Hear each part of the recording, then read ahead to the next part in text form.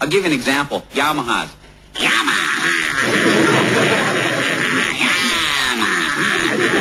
Suzuki's, no question about it.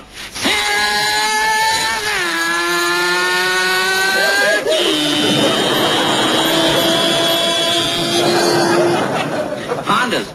You don't even know what it is when it goes by. It'll surprise you. Honda. Harley Davidson's. Harley, Harley, Harley, Harley, Harley, Harley, Harley, Harley, Harley, Harley, Harley, Harley, Harley, Davidson.